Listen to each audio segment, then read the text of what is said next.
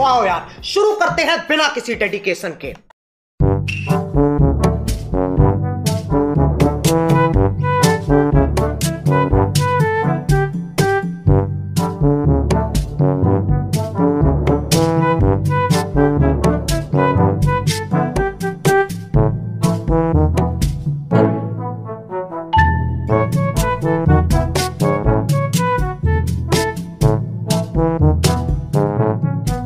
Thank you.